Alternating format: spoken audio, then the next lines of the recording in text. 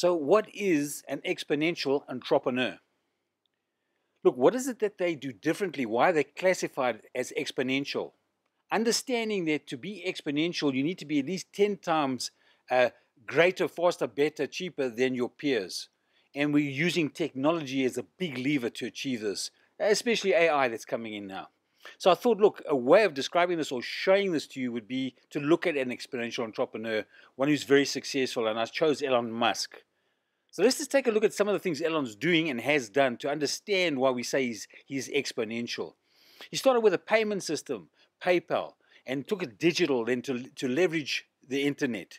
And that was sold and very successful. It hasn't grown much since he left, I must tell you, and uh, perhaps it should have been further down the track than it is. He's then gone to putting a man on Mars. Okay, so SpaceX, he's looking to already, as you understand, taking launching rockets. He's auto docked with the space station. He's taking payloads up. It's already in a profit zone. So that's unbelievably 10x.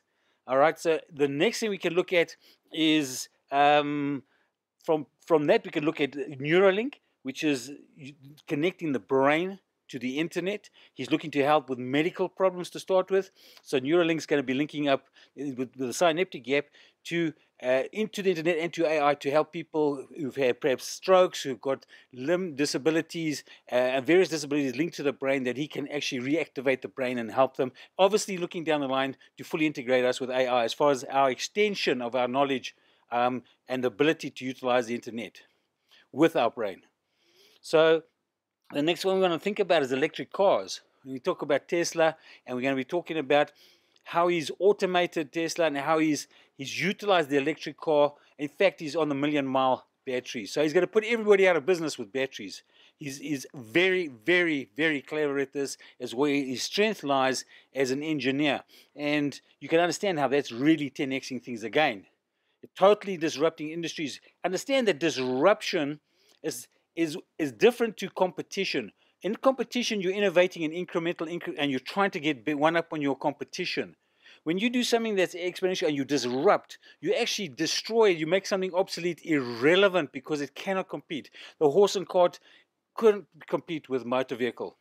And to, to, start with, they had a road that could cope with both, and they were trying some of the to, to use both. But obviously, the the car took over, and the horse and cart have gone. And you know, this is happening time and time again. You've got electric cars now that are both electric and, and fuel driven. and those are going to become obsolete, and we're going to go, I think, to electric.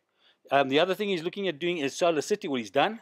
Solar City is obviously solar power, and that's that's profitable. Tesla's just turned profitable, and so has um, SpaceX. So these are exceptionally powerful platforms that he's built, um, and exceptionally powerful uh, ideas that he's put into practice and has made possible. So, hey, I'm John Harrison. This is the Exponential Entrepreneur Academy coming to you from our home office. I recently watched a interview with Elon on the Joe Rogan show, and it was very interesting for me to understand some of where he's coming from that you don't often hear about. He's giving up on his own properties. He's looking to. He's renting now. He's starting to. He's always looking at how he can himself can grow, how he can grow his knowledge and grow his ideas, and how he can change the individual. He's living. He's walking his talk. So he's changing the way he's looking at things. Um, he's adapting to how the new world orders trying to make things, but he's already ahead of that program. So he, he often says that, you know, you need to look at technology in a way that is going to help humanity. And these are the two key drivers for him. He's using Tesla to help save the earth in that it's trying to use a re, you know replenishable energy. It's trying to save the pollution, cut down on the pollution and so forth. And he's looking to save humanity by going to the stars and giving us a second option, somewhere else where we can live. So he's got a big, big key driver. He has a massive MTP, a, a massive transformative purpose. And we've spoken about this in exponentials, where you need that massively transformative purpose to drive your business. That is something that other people will be attracted to. And if it's a moonshot, the bigger the better, the more attraction you're going to get to it. And then obviously people will find their own position and place within that ecosystem. So when you do that, there are various things that we've spoken about that you need to be adhering to. And I'm just going to go over some of the list. I made some notes here of some of the things when you look outward and you look inward as an exponential organization. And Elon has got a lot of these in his companies. When you look at um, some of the outward looking things, you're looking at staff on demand, we spoke about. We spoke about the community and the crowd, building a fanatic a community. We talked about algorithms, uh, leveraged assets, and engagement on the one side, looking out. Looking inwards, we're looking at interfaces, dashboards, um, experimentation, autonomy, and social structures within the organization for staffing to communicate within a social manner. So these, he's got a lot of these things, and of course he works very hard. Okay, and he expects everyone else to work very hard, but it's all paying off now.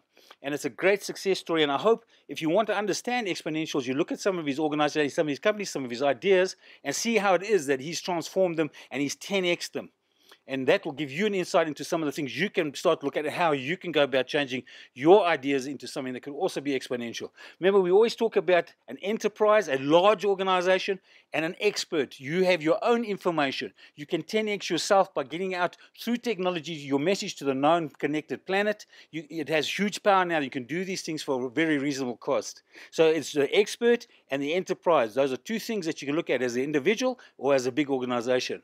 Remember, you can like, follow, subscribe, and we're going to give you a link below. If you go to it, you will see the full interview that we've spoken about on the Joe Rogan show with Elon Musk as really worth looking at. And we'll see you in the next episode.